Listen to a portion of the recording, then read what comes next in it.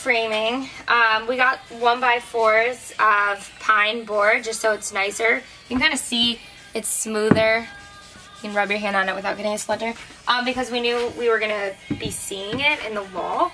Um, and then I stained it to match the ceiling, which also, also matches the floor. Then what we did, after we made this box, you can see the little corners that we have here on all four sides. We just did that and it, it took a little while. Um, but we got a quarter inch piece of small plywood. Um, you can like, it's very flimsy, you can kind of hear that. And then we cut out of the corners after tracing the corners of the window frame and the window itself uh, with just a simple piece of paper.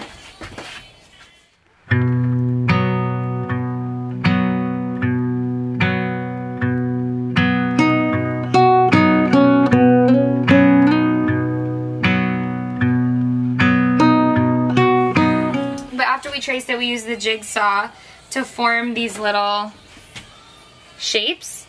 And then it took us a few times with trimming the edges and trimming this to make sure the entire thing fit on both sides.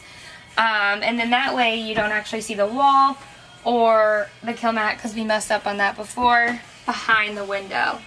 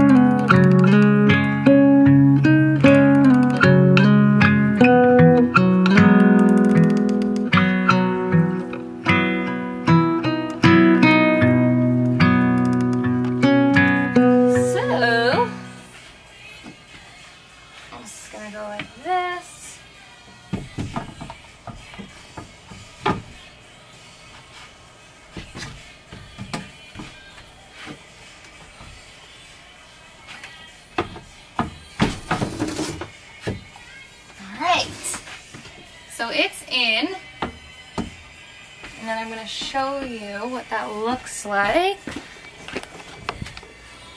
So you can kind of see on the corners, it's a little dark. But you can see how it looks more finished instead of just leaving that open. That would look kind of silly. And then the same for up here. So when I back up, it looks like a finished window. Um, um, and then let me explain what we are going to do with the rest. So then we have our frame here. And in order to make it actually work with the wall, took us like an hour and a half to figure out with the shiplap because we got a piece kind of mess to mess around with things, which I also can't find. You know where our piece of ship, oh. When we were messing around with this, we were trying to make sure that it was straight because if we went from here down, it was going to be at an angle here on the side which would look a little silly. But we finally figured out how to do it. We put a 1x3 here, right under um, the framing we did a while ago. So then when this goes in, it'll be cut. But there will be a little bit of a lip on the window frame itself. And then from there, we have two of these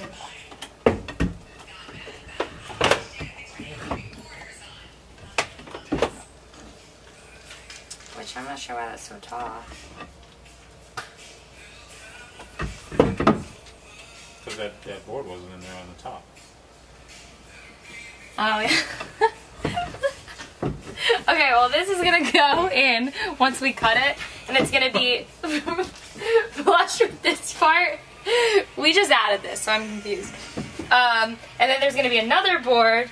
Oh, that's kind of funny. that goes across underneath and attaches the two boards under the window um, to make sure it's secure and then that we can put the shiplap around the entire thing. Um, and then what we also did to make sure that it's straight, because we were having issues with this, we put pieces of wood there. And that's skinnier than a, what was this? A one by, Cut it one by two no, it was a one by three. Or one by three. Yeah, we but made it skinnier. So we took a one by three and then made it skinnier so that it was even with the bed frame, so we don't have issues with that down the road. And then our little pillars are gonna come and attach under here for extra support.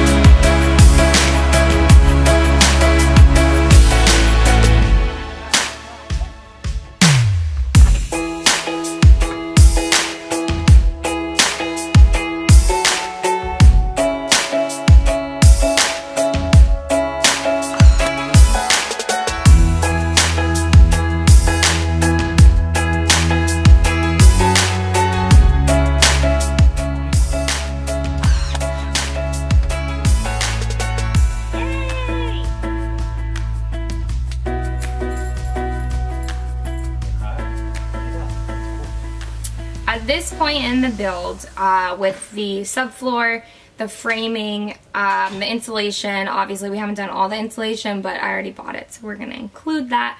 The vent fan, and then installing the windows and the win window framing, I have spent $2,481.16. So that's where I'm at at this point. Um, but that's only going to grow with electric. So that just hopefully gives you a good idea of what you'll be spending up until this point.